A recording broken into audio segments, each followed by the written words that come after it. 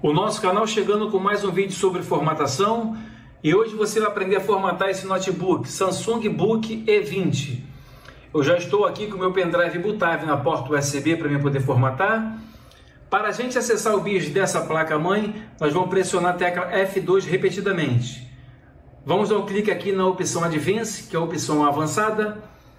Vamos vir aqui nessa opção USB S3, vamos colocar ela como habilitada para que as portas USB venham a funcionar.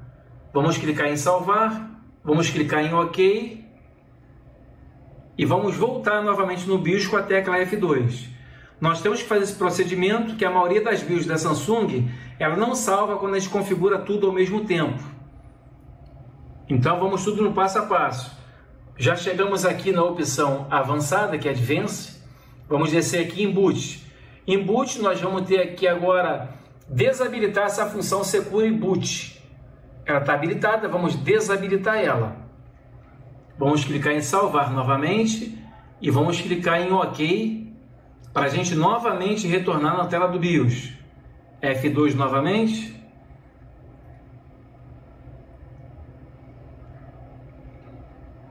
Alcançando a tela do BIOS, vamos novamente aqui na opção de boot onde a gente vai colocar agora nosso dispositivo bootável como primeiro.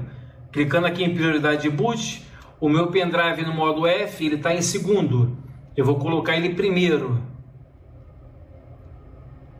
Vamos clicar agora em salvar e vamos clicar em OK, que agora ele vai vir pelo dispositivo bootável no qual eu direcionei. Vamos aguardar que vai dar um erro de BIOS, ó, isso é normal para todas as BIOS Samsung, e esse erro aqui em tela, a maioria das BIOS Samsung acontece isso. No E20, no qual estamos, no X30, X50, isso aqui é o erro de BIOS, mas automaticamente o notebook ele corrige esse erro. Vamos começar com a instalação. Muita gente cancela quando chega nessa tela, pensa que está dando algum erro no seu notebook mas é uma falha que acontece no BIOS desse notebook. Vamos mostrar aí que a gente vai alcançar essa tela da instalação do Windows 10 e esse erro já já ele vai sumir da tela. Vai fazer o pré-carregamento agora da janela do Windows 10. Já começou o carregamento lá dentro. Então tá aí, pessoal. Vamos então começar a fazer a instalação do nosso Windows 10.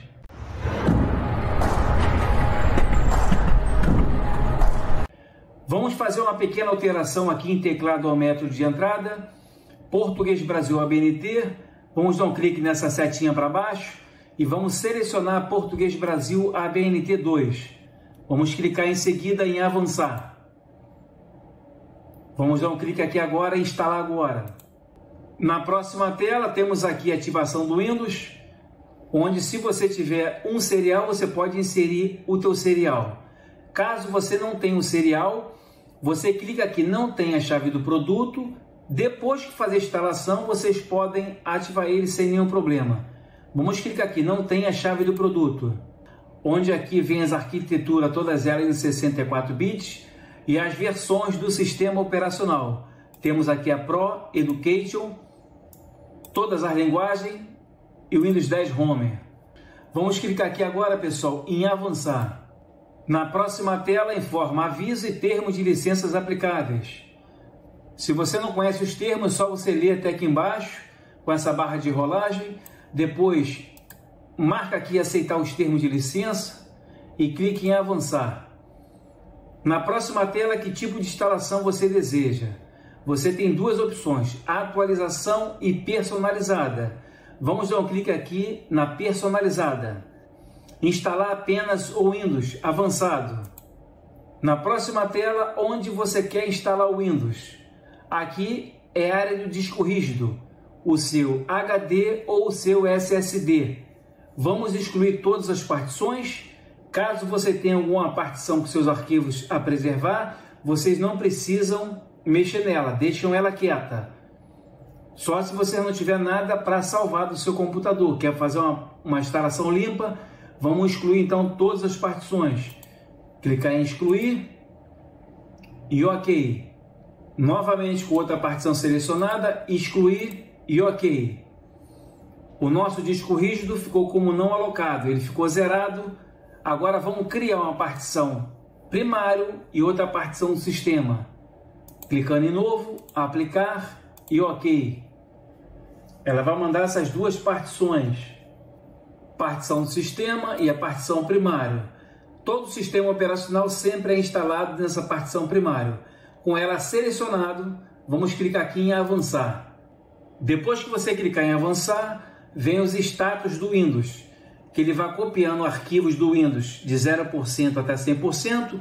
Nessa primeira fase aqui ele passou direto, porque não temos nada a copiar do Windows, que nós zeramos o seu disco rígido. Agora ele vai preparando os arquivos para instalação de 0% até 100%. Ele vai numa fraçãozinha aqui bem devagar agora, porcentagem por porcentagem, até chegar a 100%. Depois que ele alcançar 100%, ele vai instalando recursos, instalando atualizações e concluindo. Nessas fases todas, o seu Windows vai ser reiniciado por duas vezes. Essa fração aí de porcentagem, ele vai pedacinho por pedacinho. Ele vai seguindo, já alcançamos 28, 29, ele vai avançando bem devagar ele não pode travar numa porcentagem e nem parar numa porcentagem por muito tempo. Vocês podem notar que está seguindo devagarzinho a porcentagem, que está copiando os arquivos. Não pode ter travamento, não porque pode ser erro do seu pendrive ou sua mídia de instalação ou seu disco rígido, que nesse momento está enviando para o disco rígido os arquivos. Uma coisa ou outra, se acontecer travamento, nessa fase aí, se acontecer algum erro. O sistema está preparando alguns detalhes para dar continuidade na nossa configuração do Windows. E depois dessa fase que a gente vai começar a fazer as últimas configurações. Então chegamos nessa tela onde a gente vai prosseguir com as últimas configurações do Windows 10.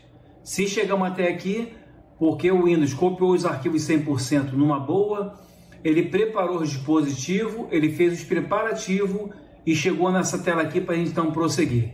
Vamos começar com a região Isto está certo? Já vem pré-selecionado o nosso país, que é Brasil. Vamos clicar em sim. Vamos aguardar um momento que ela vai avançar para a próxima página, onde vamos ter mais configurações até a gente finalizar aparecer a nossa área de trabalho. Aqui informa, este é o layout do teclado correto? Vamos tirar de Português Brasil a BNT, novamente colocar em Português Brasil a BNT 2, que é o teclado mais atualizado por causa dos acentos do cedilha. Com ela selecionada, vamos clicar aqui em Sim. Quer adicionar o segundo layout do teclado? Vamos clicar aqui em Pular. Avançando novamente para a próxima tela. Agora vamos chegar aqui na rede. Aquele espaço onde eu falei no começo para você não conectar na internet. Esse espaço aqui. Se você tiver com sua rede aqui sendo reconhecida, você nunca conecta na internet. O Wi-Fi, se você tiver via rede, ele já vai estar aqui conectado na sua rede. Então, por isso que eu falei para você estar sem conexão na internet nesse momento, até que você termine de fazer a instalação do sistema Windows 10. Vamos clicar nesse cantinho aqui esquerdo. Eu não tenho internet. Mais um momento. Na próxima tela, há mais informações a serem descobertas quando você se conecta à internet. O sistema está forçando a barra para a gente conectar agora. Mas não vamos conectar, senão vai pedir e-mail e nós vamos ficar vinculado o e-mail à Microsoft. Novamente aqui ao lado, continuar com a configuração limitada. Estamos avançando mais um momento. Agora chegamos aqui na tela onde a gente vai botar o nome de usuário. Quem usará este computador? Que nome você deseja usar? Aqui você vai dar o nome. O seu nome, nome do seu filho, da sua esposa, qualquer nome aqui você pode dar. Eu vou digitar aqui casa. Vamos clicar em avançar. Aqui o sistema está dizendo: crie uma senha fácil de memorizar. Escolha algo que seja fácil de lembrar para você. Aqui, se você não quiser senha, vocês clicam aqui em avançar. Permitir que a Microsoft e os apps usam sua localização. Aqui vocês clicam em não. Aceitar. Localizar meu dispositivo. Clica aqui em não. Aceitar. Enviar dados de diagnóstico para a Microsoft. Seleciono essa última e aceitar. Aprimorar a escrita, a tinta e a digitação. Clica em não. Aceitar. Tem experiências personalizadas com dados de diagnóstico. Clica em não. Aceitar. Permitir que os apps usem a ID de anúncio. Clique em não. Aceitar. Tudo quanto é não que nós estamos respondendo aqui, isso aqui é tudo propaganda Microsoft onde se você aceitar tudo, mais na frente, quando abrir o seu sistema, você vai sofrer aquele impacto, porque tudo tu aceitou, então depois você tem que desinstalar tudo isso aí, que isso aí sufoca a sua máquina. Outra coisa que sufoca muito a sua máquina é isso aqui, ó, a Cortana. Deixe a Cortana ajudar você em suas tarefas. Como sempre digo, se tiver uma máquina rápida, com a configuração muito boa, vocês clicam aqui em aceitar. E se vocês conhecerem também a Cortana, Caso vocês não conheçam e tenham uma máquina lenta, sem problema vocês clicam aqui em agora não. Vamos aguardar um momento, que já estamos finalizando a nossa formatação.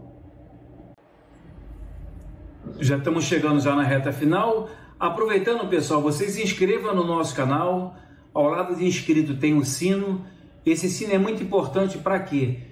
Toda vez que nosso canal subir um vídeo para o YouTube, o YouTube só manda os nossos vídeos de primeira mão para quem ativou esse sino. Deixe o joinha no nosso vídeo se você gostou até aqui do nosso vídeo.